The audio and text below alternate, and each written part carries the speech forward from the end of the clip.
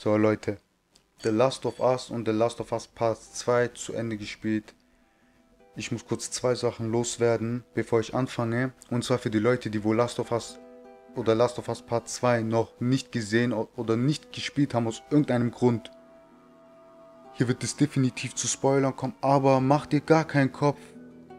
Auf meinem Kanal ist die Playlist. Du kannst direkt dort vorbeischauen und beide Teile dir reinziehen.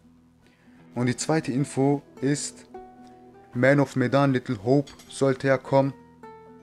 Da Bühne aber krank ist, wird es sich ein bisschen verzögern, aber Leute, habt Geduld. Ähm, auf jeden Fall gute Besserung an Bühne. So, meine Meinung zu The Last of Us und Last of Us Part 2.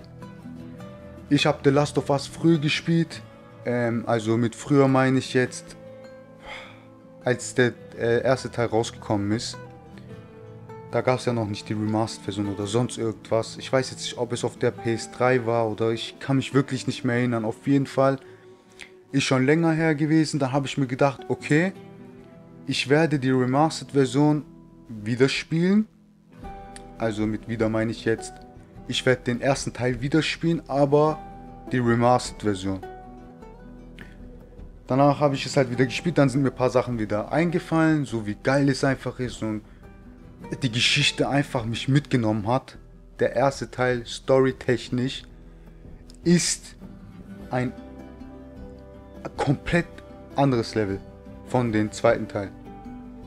Der erste Teil ist eine 10, also rankingmäßig jetzt, und der zweite Teil ist eine 6, für mich, meiner Meinung nach. Und ähm, als ich die Remastered-Version gespielt habe, ist mir einfach aufgefallen, diese, diese Bindung zwischen Joel und Ellie, wie die sich entwickelt hat, wie, wie die, dieser Aufbau von Anfang mit Joel und Ellie bis zum Schluss. Da war ja auch noch Tess dabei. Äh, ich weiß jetzt nicht, der eine, da ich kenne seinen Namen jetzt nicht mehr. Ähm, da wo wir bei dem, der wo Fallen überall hingestellt hat, auf jeden Fall, der war ja auch noch da, der Kumpel von Joel und ähm, Tommy. Tommy war auch noch so ein Charakter, den ich, da wo ich sagen kann, ey, ich, der ist, den haben die auch richtig gut hinbekommen. Also die Geschichte, also von, der von der Story technisch her, also zwischen Joel und Tommy, dass sie Streit hatten mit, wegen dem, also früher wegen Firefly und weil Tommy zu den Fireflies gegangen ist. Joel, diese, die, diese ganze Geschichte war einfach krass. Also wir haben auf dem Weg so viel erlebt mit Joel und Ellie. Also wir sind wirklich bis ans Ende der Welt gereist, bis wir, ich weiß jetzt nicht mehr, wie die heißen, der eine Typ mit seinem Sohn da, da haben wir die getroffen, wir haben gedacht, das sind unsere Feinde, die haben gedacht, wir sind die Feinde. Und im Endeffekt haben die dann zusammengearbeitet, damit die da rauskommen von dem Gebäude zur Brücke. Und dann irgendwann wurde sein Kind gebissen. Und dann ist alles ausgeartet. Wirklich alles ausgeartet. Er hat sich selbst erschossen.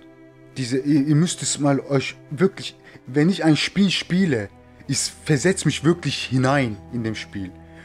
Und als ich diese, diese Szene wieder gesehen habe, weil ich habe ja ein paar Sachen vergessen, als ich diese Szene äh, gesehen habe, es hat mich wirklich mitgenommen.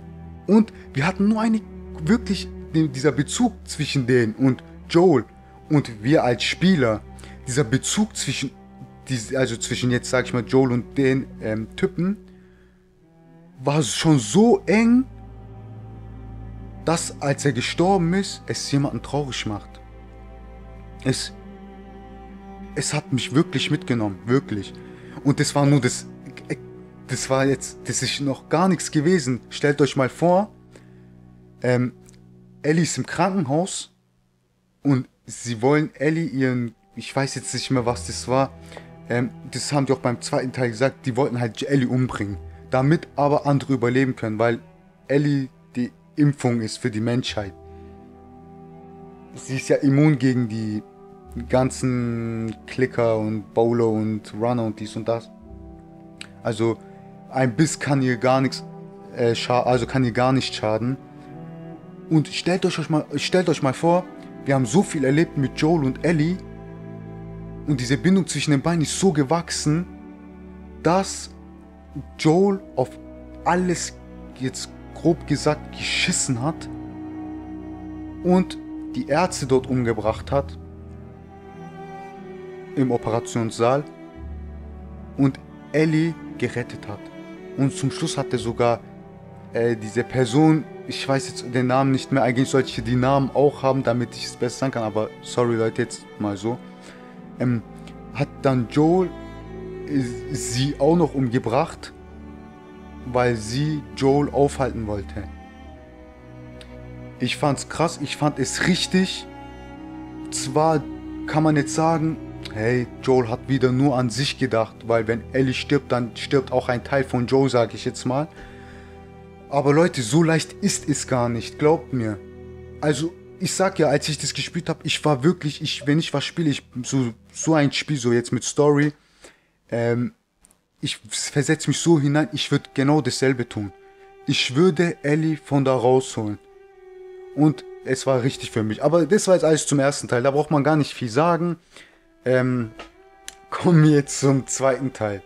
Ähm, kann ich sagen, dass es kontrovers wird oder ähm, ich fange mal so an.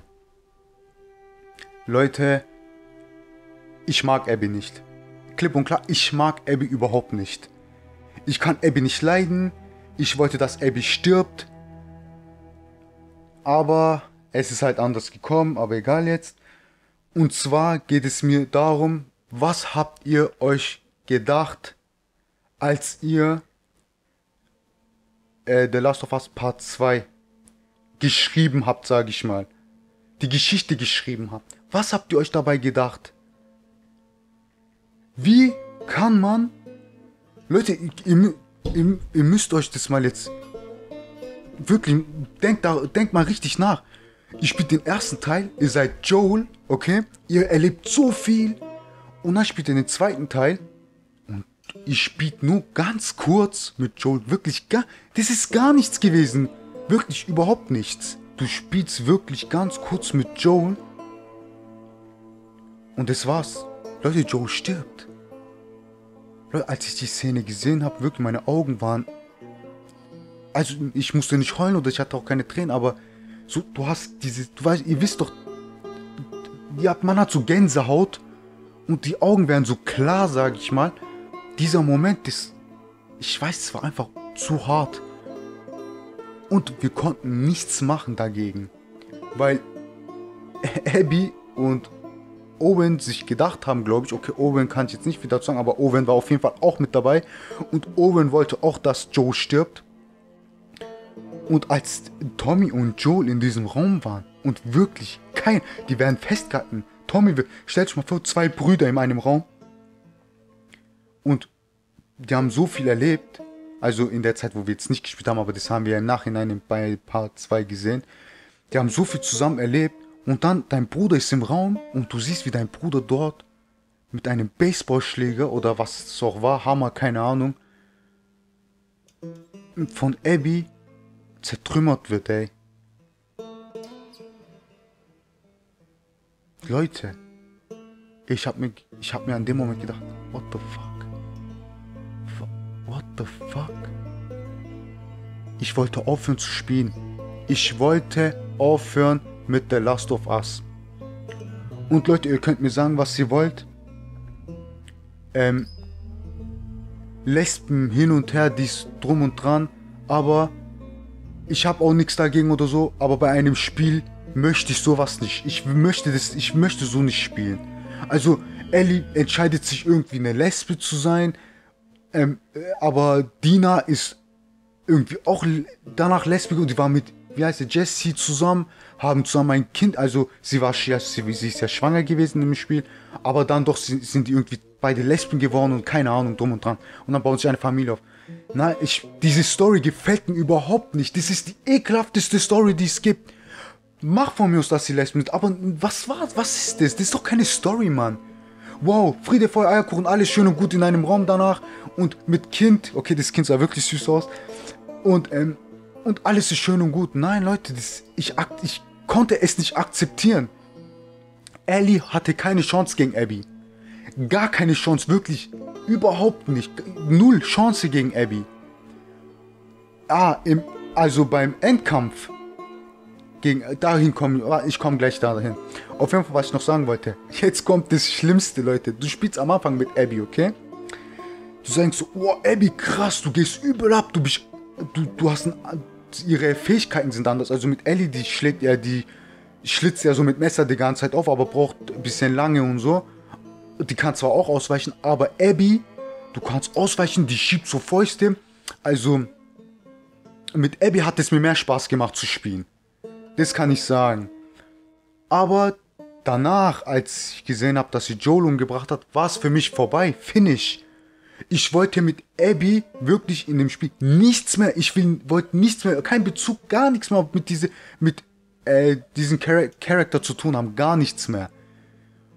Aber was sagt das Spiel zu uns? Hey, du hast Joel umgebracht, der von Teil 1, der wo alles wirklich so viel erlebt hat. Aber du, du hast jetzt Joel mit Abby umgebracht, also musst du jetzt mit Abby weiterspielen.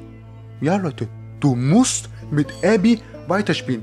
Wie zeigen die dir Abby? So, Leute, jetzt komme ich dazu. Wie zeigen die dir Abby?